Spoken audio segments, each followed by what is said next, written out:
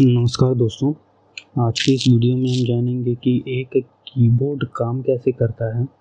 Keyboard को हम खोल के देखेंगे कि इसके अंदर क्या क्या पार्ट्स रहते हैं और वो कैसे वर्क करता है, किस पार्ट का क्या काम है और जब भी कोई हम कीबोर्ड का बटन प्रेस करते हैं तो उस दौरान होता क्या है, कैसे कीबोर्ड से सिग्नल कंप्यूटर तक पहुँचता है और कैसे कीबोर्ड वर्क करता है, इसके बारे में पूरी डिटेल में जानकारी देने वाले हैं। इसलिए अगर आप हमारे चैनल पर नए आए हो तो प्लीज़ हमारे चैनल को सब्सक्राइब करें और हमें सपोर्ट करें। तो आइए वीडियो शुरू करते हैं। तो दोस्तों, हमारे पास जो कीबोर्ड है, वो अल्फ़ा न्यूमेरिक कीबोर्ड है।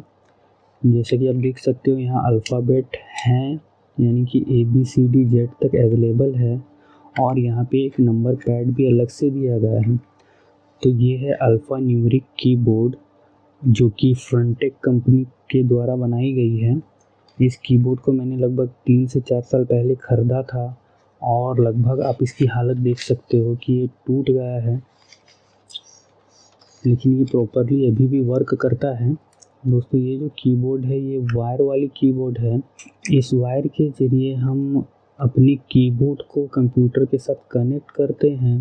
तो आइए इस कीबोर्ड को खोल के देखते हैं कि इसके अंदर हमें क्या क्या पार्ट्स मिलेगी। तो कीबोर्ड को ओपन करने के लिए हम कीबोर्ड को पलट लेंगे। और आप बैक साइड में देख सकते हो यहाँ बहुत सारे स्क्रू मौजूद हैं। कीबोर्ड को ओपन करने के लिए आपको इन स्क्रू को ओपन करना पड़ेगा। तो आइए इन स्क्रू को खोल लेते हैं।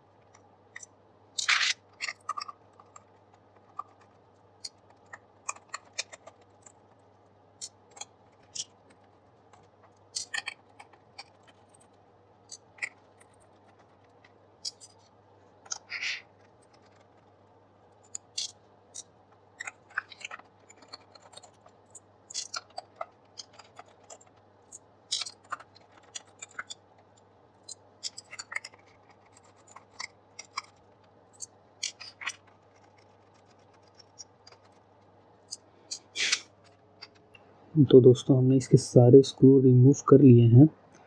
इसके अंदर कुल मिला के उन्नीस स्क्रू लगी हुई थी, जिसे हमने निकाल दिया है। अब आइए इसके बैक कवर को रिमूव करते हैं। तो दोस्तों, जैसा कि आप देख सकते हो बैक कवर को रिमूव करते ही आपको कुछ इस तरह का नज़ारा दिखेगा। तो दोस्तों, ये आप देख सकते हो, ये एक है मैट्रिक सर्किट जो कि बना हुआ है प्लास्टिक सीट की मदद से। आप इसके अंदर देख सकते हो कि एक सर्किट का डिज़ाइन बना हुआ है और हर रास्ते में एक पॉइंट दिया गया है, जिसे हम कनेक्टिंग पॉइंट भी कह सकते हैं। ये राउंड वाला जो है, ये कनेक्टिंग पॉइंट है। अगर ये मैं पूरी मैट्रिक सर्किट को खींच के निकालूं तो ये इजीली रिमूव हो जाएगा। इसके साथ एक रबर दिया गया है, जो कि ये मैट्रिक सर्किट को कंट्रोल सर्किट के साथ अटैच करता है। तो ये हो गया हमारा मैट्रिक सर्किट प्लस इसके साथ रबर स्ट्रिप लगा हुआ है, जो कि मैट्रिक सर्किट और कंट्रोल सर्किट को जोड़ने का काम करता है। तो इसे करते हैं साइड में। तो दोस्तों, ये है हमारा कंट्रोल सर्किट ये इनबिल्ड प्रोसेसर के साथ आता है। और इसके आउटपुट में आप देख सकते हो, ये केबल निकला हुआ है, जिसे हम अपने पीसी कंप्यूटर के साथ अटैच करते हैं, ताकि ये कीबोर्ड हमारे कंप्यूटर के साथ कनेक्ट हो जाए। तो दोस्तों, आप देख सकते हो कि हर बटन के नीचे एक रबर का स्विच दिया गया है। जब हम बटन प्रेस करते हैं तो ये प्रेस होता है और ये प्रेस होने के दौरान क्या फ़ंक्शन करता है इसके बारे में हम आगे जानकारी लेंगे। तो सबसे पहले इसका रबर हटा लेते हैं। उसके बाद आगे डिटेल में बताएँगे कि ये वर्क कैसे करता है। तो दोस्तों, हमने सारे रबर पुश बटन को हटा दिया है। तो दोस्तों, अगर पुश बटन की बात की जाए तो ये भी आसानी से रिमूव हो जाएगा। बस इसको थोड़ी सी प्रेस करने की ज़रूरत पड़ेगी।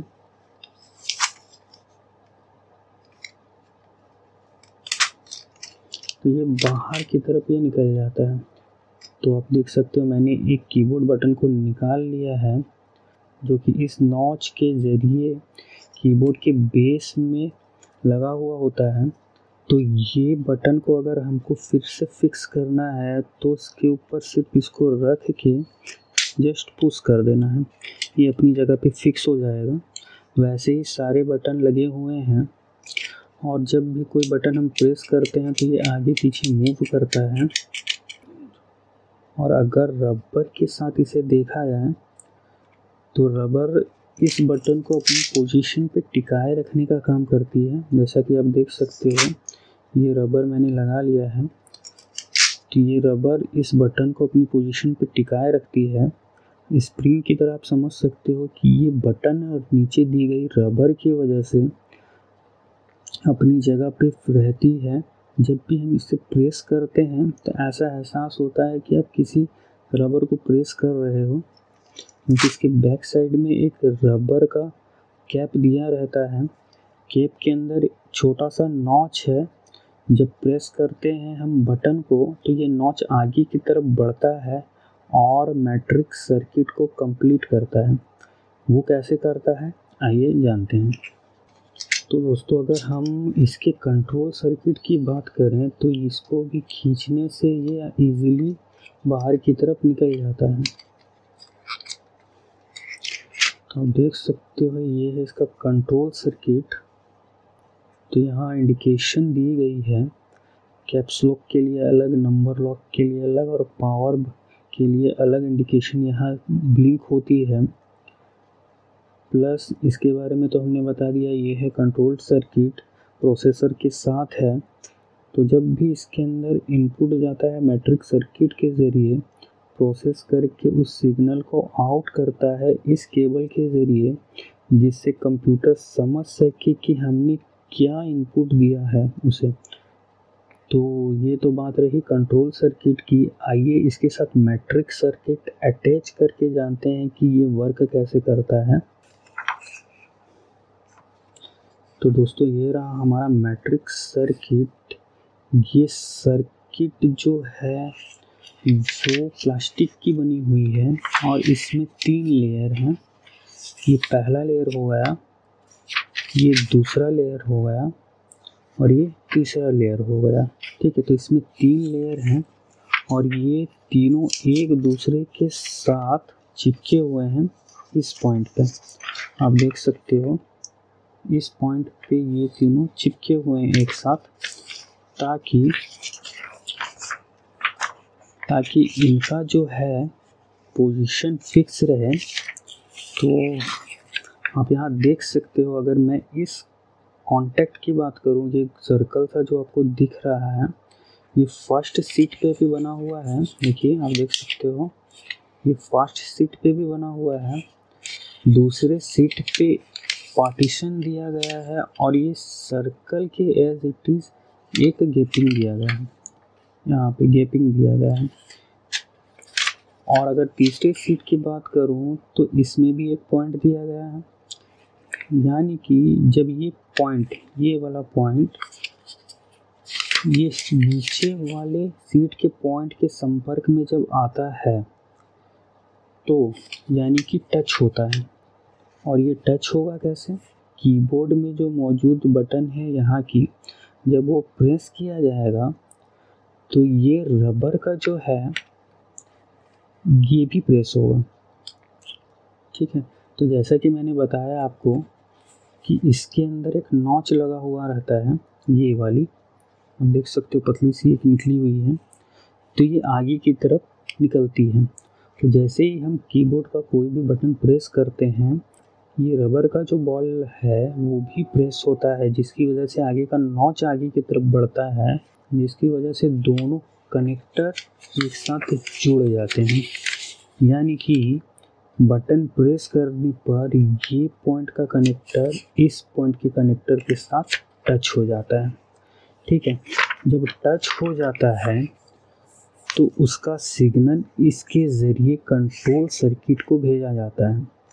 मान लीजिए कि मैंने एक एस्केप बटन प्रेस किया। एस्केप बटन प्रेस करने का मतलब ये हुआ कि पहला सीट का एक कनेक्टर दूसरे सीट के कनेक्टर के साथ टच हो गया है और उसका सिग्नल कंट्रोल सर्किट को मिला। ठीक है? और कंट्रोल सर्किट उसको प्रोसेस करेगा और आउटपुट की तौर पे पीसी को ये बताएगा कि सामने वाले ने एस्केप बटन प्रेस किया है और एस्केप बटन के रिगार्डिंग जो कमांड है उसको रन किया जाए। हर कॉन्टैक्ट का अपना एक पोजीशन है। जैसे कि आपको पता ही होगा कि कीबोर्ड पे हर बटन का एक पोजीशन होता है।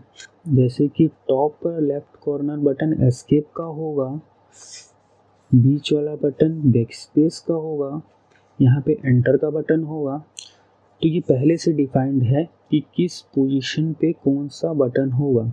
उसी के हिसाब से ये मैट्रिक सर्किट डिज़ाइन की जाती है।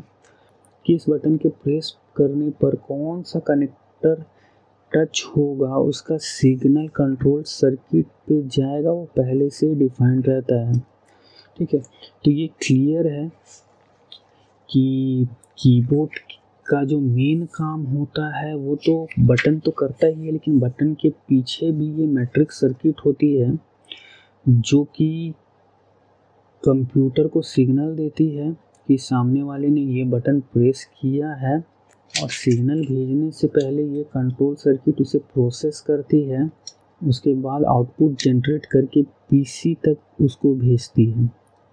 तो दोस्तों, आपको इतना तो समझ में आ ही गया होगा कि ये एक कीबोर्ड काम कैसे करता है, उसका पार्ट्स क्या क्या होते हैं, कैसे वो वर्क करता है। आपके मन में एक सवाल ज़रूर आता होगा कि कीबोर्ड का कंट्रोल सर्किट तो पीसीबी का बना हुआ है ना? ये तो हार्ड मटेरियल है। तो ये मैट्रिक सर्किट जो है, जो प्लास्टिक का बना हुआ है, वो इसके साथ कनेक्ट कैसे होता है? तो इसका सिंपल सा जवाब है, आप यहाँ देख सकते हो, ये कनेक्टर निकली हुई है।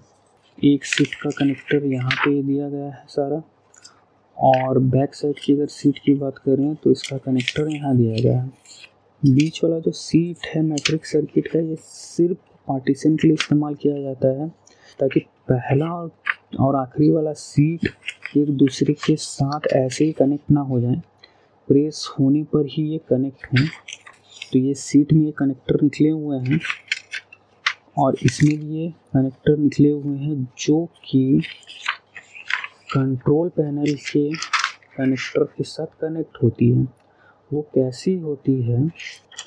अगर हम मैं इसको इसके ऊपर रखूँ तो ये इसके ऊपर टच हो जाएगी। तो मैट्रिक सर्किट को कंट्रोल सर्किट के साथ प्रॉपरली फिक्स करने के लिए ये रबर की एक स्ट्रिप दी गई है। तो उसको जस्ट इसके ऊपर लगा देना है। ये फिक्स हो जाएगी और यहाँ पे स्क्रू टाइट कर देंगे। ताकि मैट्रिक सर्किट कंट्रोल सर्किट के साथ प्रॉपरली टाइट हो जाए और कोई लूज कनेक्शन ना मिले। तो दोस्तों, आज हमने जाना कि कैसे एक कीबोर्ड वर्क करता है, कैसे हम कीबोर्ड का कोई बटन को प्रेस करते हैं तो अंदर कीबोर्ड के क्या होता है तो हमें उम्मीद है कि आपको जानकारी मिल गई होगी। और वीडियो पसंद आया तो प्लीज़ वीडियो को लाइक करें, हमारे चैनल को सब्सक्राइब करें, और हमें सपोर्ट ज़रूर करें, ताकि ऐसे ही वीडियो हम आप तक हमेशा ला सकें। मिलते हैं अपने अगले वीडियो में। तब तक के लिए थैंक यू अपना ख्याल रखें।